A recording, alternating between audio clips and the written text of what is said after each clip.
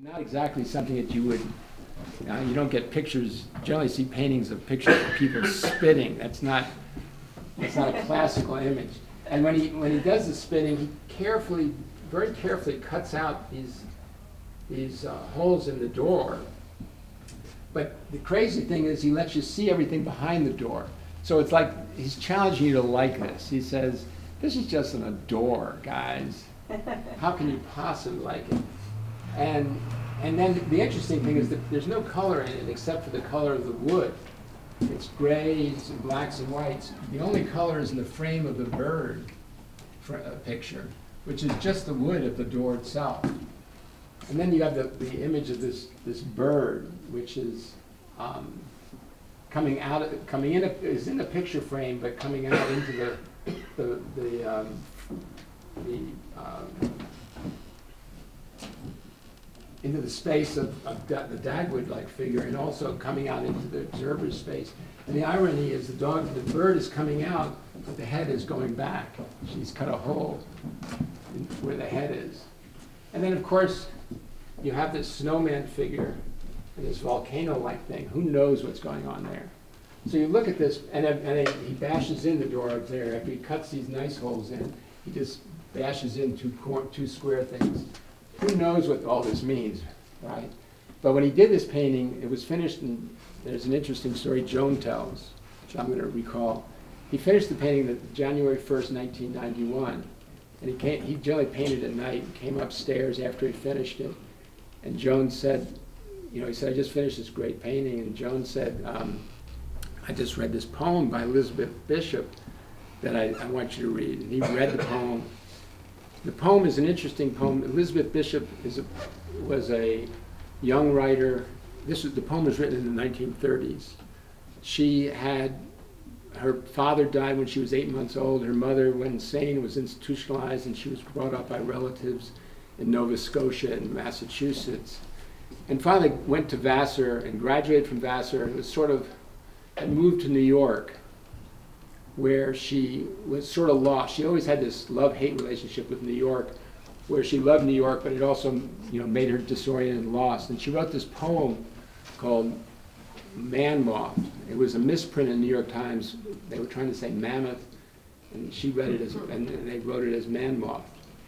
And she wrote this poem, and, and there, you, the poem, we've got copies of it around. It's really a beautiful poem. It's worth, worth reading, and it has two images that are, that are um, that reflect this painting in a lot of ways. Because what happened is Jerry read the poem and he said, I just painted that poem. And in the poem, he, one of the characters is this moth that comes from the subterranean parts of New York and is trying to fly up through the sky and tries to fly through the hole in the sky, which is the moon, and of course never makes it. And then later in the poem, a man gets um, and it's sort of a very surreal scene, but gets on, on the subway and is, is said to be facing the wrong way. So you can see where both the moth and the man facing the wrong way you know, are reflected in that poem.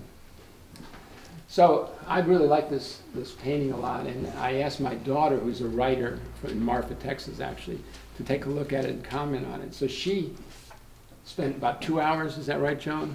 Well, I just want to say one thing I forgot. Yet your connection, we got Rachel Monroe, who has the uh, foremost piece in the current New Yorker. Yeah, but So, yeah, Rachel- but Rachel spent a couple hours with this painting. hours and days. And, yeah. and in her essay, which is in the catalog, she, she says the thing that this painting reminded her of, the first image she thought of was Porky in Wacky Land. Are you all familiar with this classic?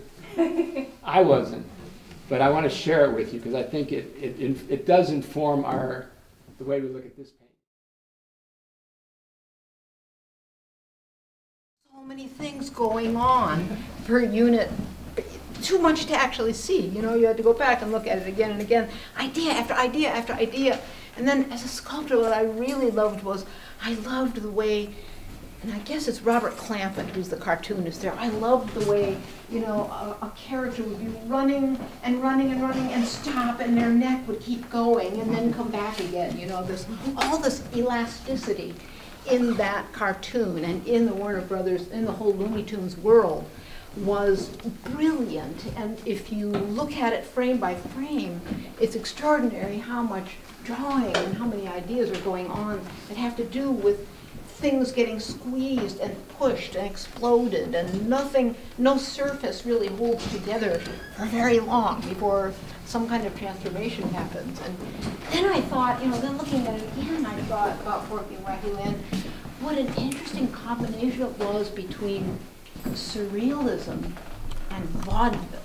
And I thought, have I seen this before? Have I seen that marriage before? Certainly I've seen the one and the other, but then looking at that film and seeing, for example, the scene where, where uh, the figure with the, with the mannequin legs and the little stick figure body stands aside and poses, you know, or all the Bella Figura poses of the dodo bird in triumph after having flummoxed Porky. There's all this wonderful vaudeville in those poems, and those remind me of Jerry's paintings, and this is what I thought, among other things, this is what I really found myself thinking, what an interesting connection it is. And so I want to go in that room. There's one painting that sort of stayed in my eye. I'd love to go in and look at one of those paintings. Though I saw some of these paintings get made, or though I was around during the years when some of these paintings get, got made, what's really interesting that Joan and Paul and Reynolds have done is to give us the paintings again, in some cases 20 years later, and a chance to look at them from a very different cultural moment, artistic moment, art world moment. And so it's, it's really curious to compare what I thought of them then, or what I thought he was doing then, and what I see he's doing now, with all that we know in retrospect. And um, so, among the thousand thoughts that I have with this one, and you can see this vaudevillian hand where in perspective the, the gesturing hand comes out and gets bigger and comes out in space, and the body goes back into pictorial space, and maybe this is a hand, but then what are all these? But the figure in the middle, um, I think is, there's things going on here that really anticipate some of what Paul is talking about, some of the abstraction that, that Paul's talking about. Um, so you can see the posing, you can see the vaudeville in these figures, and you can see the, the, um, the, the, the, I'm groping here, sort of the, the, the cartoonish, sort of tongue-in-cheek, exaggerated hyperbole of gesture you can see in these works in this room, which all come from the 80s and I guess early 90s. Paul, you put you, These are all eighties, actually, it's not. 80s, And they're all 90s, 90s and early aughts, yeah. Um, So I- one of the things I wanted just to talk about with this, but all the paintings, is the- is the, the, the vocabulary of ways of getting paint on the canvas, the, just the number of ideas, just like Bob Clampett had all those ideas about how he was gonna build those figures and what he was gonna have them do. Jerry has all these ideas about how to scratch or squeegee or paint, or in the case of this mouth, very, very carefully render, almost in realism, um, image after image, and then wipe it out, and then develop it, and work on it again. And for me, this painting is, it barely holds together in a kind of crazy painterly chaos. So you see it, and it's like, I love what Paul said, you know, he's asking you to like it. He's asking us to respond to this composition, a composition that in every moment is sliding off the canvas and, and sliding around and falling down and, um, and interrupting himself with a thousand things. And, um, but I looked again, and this is the other thing I wanted to mention with my little chat here was, I think that what rivets us about all the paintings that Jerry did is, has maybe something to do with the contradiction.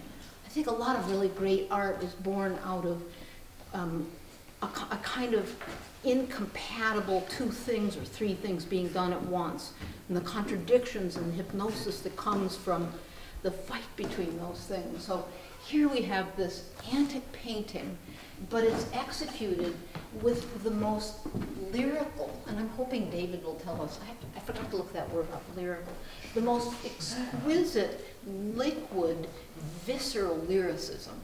And these two things are made to go together in this painting. And I, I especially thought, you know, the way this head is constructed out of a set of really fast, very wet on wet paint.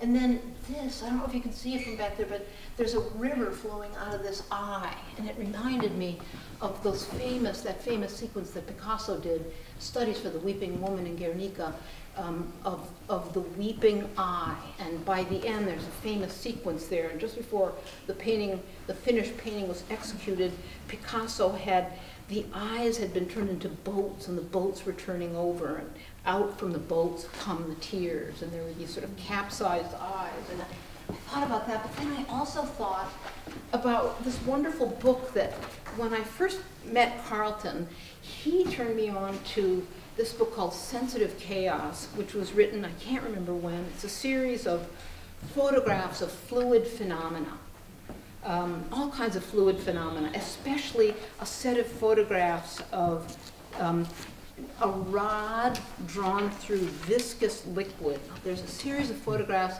taken in um, time lapse so that they could be slowed down so that the behavior of the vortices and eddies in the, in the wake of the rod could be captured on film. And later in the book, um, Theodor Schwenk, who writes the book, compares these things that are mic in micro time, compares them with longer duration events that follow the same kinds of patterns. But look at this crazy ball and socket pattern on the left, and does it not somehow, it certainly put me in mind of the sluice work of liquids going on to make this face.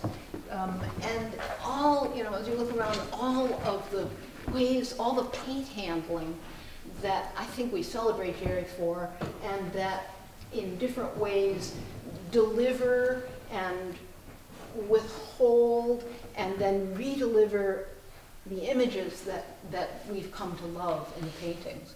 Um, and I just, you know, I just, this mouth here is so, it's, it's so obscene and so, so fantastic and so fleshy and so slightly wet and so, you know, it's almost as if he's painted a beautiful illusion of, of if not spit flying through space, then spit, uh, you know, then spit barely held, barely held in, and then surrounded with you know, I think he was a master of, of, and again, I have to quote Carlton, the liquid issue.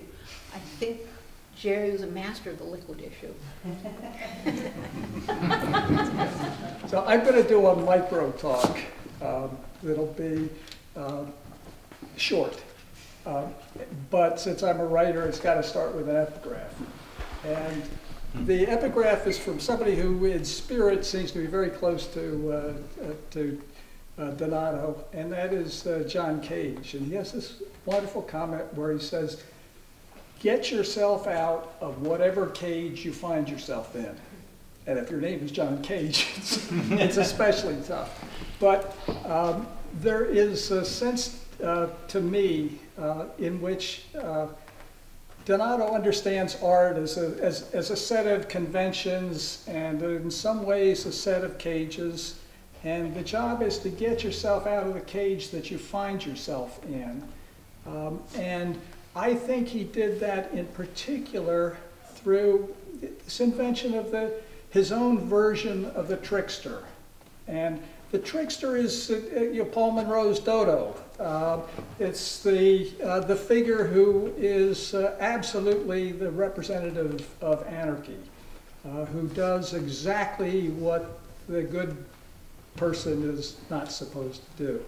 And to me, this is, uh, you know, this accounts for the impulse to, to bash some holes in a door that, that shouldn't be bashed.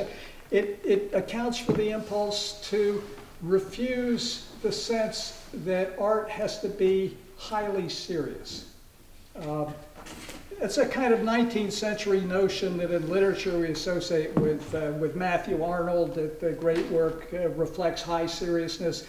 But, I mean, for me, it, this piece over here where you put Mr. Man's head on the, the torso of a, a buxom woman is, is exactly the, uh, the trickster uh, at work, uh, giving us something that shouldn't, that shouldn't be there, Um but it is. Uh, one of the things that impresses me most about uh, Jerry's work is that, is that it always makes me feel happy. I, I think uh, Elizabeth feels that way too.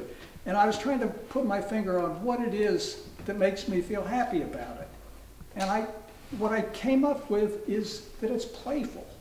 Uh, that as opposed to sort of reaching for high seriousness, uh, he sees the importance of, of the play element in human culture and uh, kind of retrieves it for, uh, for, for serious art. So this is art that is serious, but its, its seriousness has to do with embracing a kind of, a, a kind of playfulness. Uh, I wanted to, to leave you with, with two facts, since all this has been conjecture. And uh, the, the first fact um, is, seems significant to me what people put on their license plates. I mean, you can have dozens of tattoos, so a tattoo doesn't tell me much of anything if you got more than one. But you only have one license plate, and Jerry's license plate uh, had the word doubt. Um, and, and I think the doubt was not like a philosophical skepticism, like there is no truth, um, but it's that everything needs to be questioned. Uh, even the artwork, the cage, you may have invented your own cage in the 80s, and you need to get out of it in the, in the 90s. Uh, and if that's what's happening in the exhibition that uh, Paul Monroe has put together, it is, I think, in the, in the spirit uh, of, of John Cage. The other was the title, which was actually a, a, quotation when he was being interviewed and realized that it should be the title of his retrospective. And he called it Reinventing the Game. And so, in some ways, you know, art as play has a lot of game involved in it. Uh, but the job of the artist, uh, the, the playful artist, is to reinvent it in some way.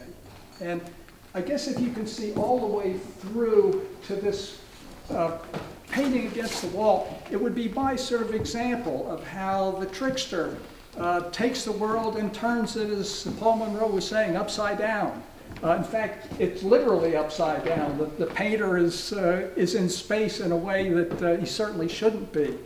Uh, I think one of the books that connects with me about Jerry is, is Lewis Hyde's book, The Gift where Hyde is arguing against the commercialization and the commodification of the artwork. I think that's one thing that play does. It says, no, you're not going to take this into the uh, Metropolitan Museum and uh, charge a bundle for it. That's not, that's not what this art is about. This art is about exploring imagination, exploring a kind of dream space. So he's got a, the figure of, of the painter who's kind of a house painter. So there's the, the painter who actually is you know, decorating your walls. Uh, and then there's the Mr. Man figure, who is the trickster who's turning it all upside down. This is, I think, the only Mr. Man picture where there's, it looks like he might actually be smoking something. And uh, again, Jerry leaves it up to us to decide what it is that he might be smoking. There's, for me, I guess if there was one word that would connect, for at least for the early Donatos for me, it's, it's kind of dreamscapes. That is, they're, they're sort of innerscapes that exist only in the mind of Donato. Uh, you have to be sort of Donato to get there. Uh, but there, there is no anchoring in the external world. There's the figures who matter most to him a paternal figure, uh, a woman figure, a love figure. Um,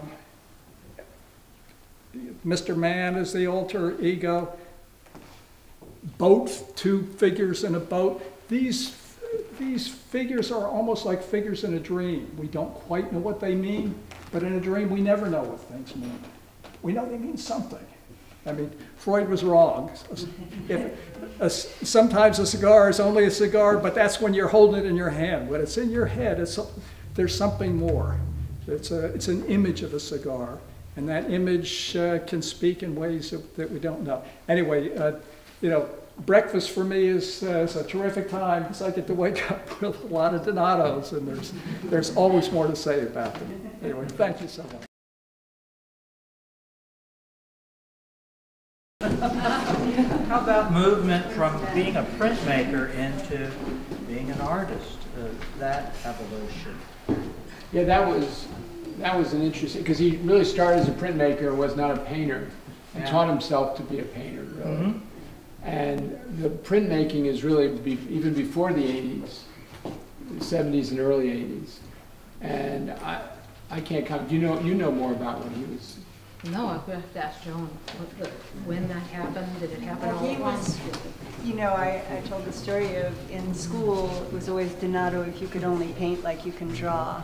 And uh, he was, he had Feigen, he had a really good gallery in New York for his prints, but he really wanted to paint. And we went up to New York in seventy-six, lived on the Bowery, he'd paint all night. We had to get to bed before the rooster in the chicken hatchery behind us started crowing. And he'd look at art all day, and he really taught himself to paint, not on that trip. It took a long time, but he, he really did teach himself. Was that the answer? He did keep oh. doing, but the monotypes, yeah, which really were sort of singular paintings, but additions. but I think he kept evolving. I mean, he was not an artist that, that found an answer. I mean, he went from printmaking to teaching himself painting, to doing these paintings, to doing those paintings. And was never, you know, he, he never settled. He was like the moth, he never really settled. He kept, kept trying to push the limits, get out that hole. And you had the insight that when he started doing the work in the nineties, there are many fewer works on paper. Yeah, I, I, we couldn't find a lot of works on paper, and he, and he only did big paintings. He didn't do paintings you can put in your house easily, right? I mean, he, he insisted on going for it and doing what he thought was, and, and it wasn't important for him to sell things, right, Joan? No, he had his work not for sale, really. Yeah, he, he, he, because he didn't want to sell it. Any other comments, or? What, when you chose the work, what, what, how did the show unfold in your mind? Because this is a selection from a huge body of work. of- Well, we went, we went downstairs, and, and it really was that, I thought it was, I, it was interesting to see the work, how it changed. I was really interested in the work from the nineties, because I really felt there, were- it was mysterious, I didn't understand this, you know, I didn't understand the symbolism, and it was real un- unfamiliar to me. The more I looked at the work, the more I said, you know, this is quirky, I, I don't, can't get my head around it, but it's, but it's really interesting. The more you look at it, if you look at some of those paintings, the couple, which is the painting on the back wall, the large one, with the strange green color and the strange orange color, you know? I'm saying, why would someone pick those colors? I mean, he, he knew exactly what colors he was picking out. But then when we hung the show, it was interesting, the painting on the back wall, the Buddha painting on the back, on the far back wall, has the same colors. And, and I went, looked today, when they were painted, they were painted in ninety-two. And according to Joan, he went and found this cheap paint at Lowe's. And said, no, I- you may not I'm want to gonna use this all up. well, you, right. You don't want to paint your room this color, but I can make a good painting out of this color. You know, because I can't, I can't look at that painting and, and, and not see those colors. You know, um, And But it- we think of kept- the story. but and think kept, of yeah, kept seeing more and more things that I didn't recognize the first time around. More cutouts. We were looking at that at the Buddha painting this afternoon, Yeah. and we kept seeing these little gestures and these strange ways of putting paint on. The cutting away is such a printmaker's action too. That's true, that's You good. know, and also, you know, the scratching, a lot of the paintings have scratching and clawing marks in them, which also strikes me as a, as a, um, a printmaker's instinct. So the doors seem to really go back to negative space, thinking positive, negative, cutting in. Um, it's really interesting. Yeah, and then in, in that same painting, the, the Buddha painting in the back, and as well as the, the boy and bird, the wood is chiseled out in some places to make a texture, or, I mean, it just does, he really used the wood in, in ways that a painter wouldn't ordinarily, think. you don't learn chiseling in, in. On a at V- Lowe's door. Well, you don't learn it in art school, right? They don't have an FMA in, in chisel, An FMA. FMA. An FMA All in right. art. Chisel. MBA. So great. Chisel, I like that. If I could just jump, can I say one thing? Sure. Um, Donato was one of my drawing instructors my sophomore year at VCU. And it's been interesting to hear things that you guys have said because he really did encourage experimentation and playfulness. And he really kind of pushed me to continue to just have openness with material and um, kind of whatever happens, you know, and was always very um, energetic, very energetic, um, and you know, just kind of open to different ideas and what can happen with art. And so I just Yeah, The teacher. well, that's good. I mean, he- we didn't emphasize that, but teaching is really important. to him. That's why, that's why the money from any sales go to, to a, a prize for undergraduates, which is, you know, continues that, that legacy. Is there anybody else here who's a student? You never really know what goes on in the classroom with someone else. I know. Well, there's no- The students always have strong, I mean, I had, I had, my, I was in yoga last week and someone said, oh, you have a Donato show. And this was a, a, an older, not someone as old as I am, but she said, I went to art school kind of late, late in life. And she loved Donato. She said he was, he was an incredible teacher, but first time I met him, he said, you're awfully old to be going to art school. So he, he really let it hang out. I mean, he, you got what you got, right? Um, he was balls out, man. Yeah, there was no holding back. And these paintings, Yeah. I mean, these paintings, and one of the reasons we picked the, the fresh was because he was fresh. Yes. But it it was a fresh look, but, but this, these works look like they could have been painted last year, you know? I mean, I think a painter that produced these in the last year would, would be happy that they're topical. Yeah. That's what you were saying. I mean, I that's a so, whole too. nother subject that I mean, the whole issue of gender, the whole issue of posing, the whole issue of, of, of a persona, of a constructed persona, these are all things that are so huge now in different ways in, Yeah. in, in the world. Yeah, you bring up gender. I mean, he was really playing with that gender mix. I mean, So again and again in paintings, there's someone who's looking and someone who's being looked at. And it tends to go in the, in the expected way. The man is looking, the woman is modestly looking down. But there are paintings which women, the female figures are looking too. Um, I don't know if they're ogling or leering, but they're, they're definitely paying attention. So the images of, of the act of looking, I think, is another theme that runs through all the paintings and is really interesting.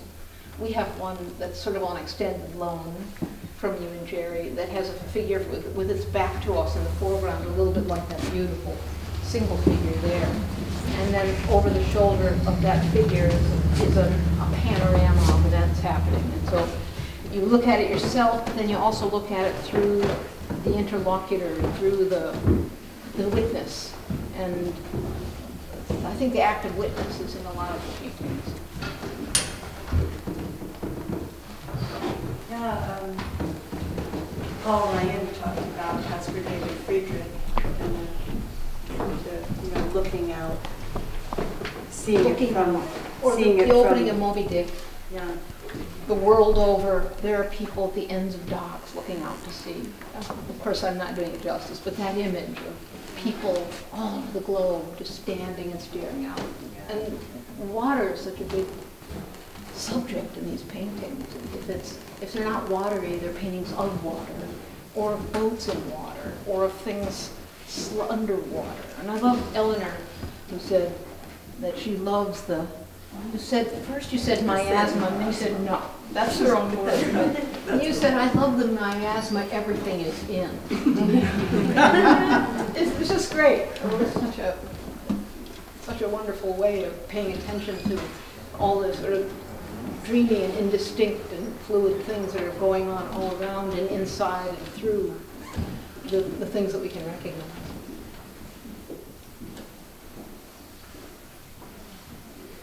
All right, well, yeah, Ted. Uh, Joan, if you don't, if you don't mind, um, I'm curious as to how you guys sort of lived with it, particularly the sort of dreamscape aspect of a lot of what's going on. Like, is it, how did it sort of interact with your lives? And like, did you, did you have feedback? Did you say, oh, this is that thing or that thing, or was there a When conversation? she's talking that about the seems- work, Yeah. yeah, you know, I mean, we would just sit and talk about each other's work forever, and I was sort of the first one to pull out, because, you know, he was a teacher and he was older, and I thought I just need to listen to my own voice. But we, you know, we would talk endlessly, but really, I struggle to remember what we talked about, because it wasn't so much this means this or this means that. So, but this, things would certainly come to light, you know, but really often even other people would tell us, well, that guy with the mustache, that's your father. And Jerry and I both go, oh my God, it is. And the rose, you know, people would always say, oh, that's Joan, and I think that is not my body. And the rose in the hair, and it was his mother, and the cross. So, but it's been, it's just very interesting for me to hear from other people their takes on things. But the, the man moth, that, it was so funny because most, almost everything is untitled. That was one of the few things he wrote bird and boy on. And when he came up and he said, I just painted this painting, we, we referred to it as man moth ever after. So that one, I think, more So that effort is part of then what's, what gets pictured from us when we, we look at it. And I think, I think that we leave the show with, with a sense of, of an artist, um, not just singing his heart out, but also really reaching and using all the tricks he can think of, both representational ones, painterly ones, um, compositional ones, and ones having to do with the surface itself, the physical object itself, messing with them all, hoping, hoping, but I would never dare to put in words what it was he, you know, what it was he was trying to summon into, into existence, although I think it's here. I think these are soulful paintings, and the, the accomplishment of that makes us all a little smarter and a little more capable ourselves, right? We all win something when an artist accomplishes what, what some of these paintings have accomplished. We all, so we're all leaves, we're full of ourselves, because we can, you know, we, we can enact a little bit just, just in looking at.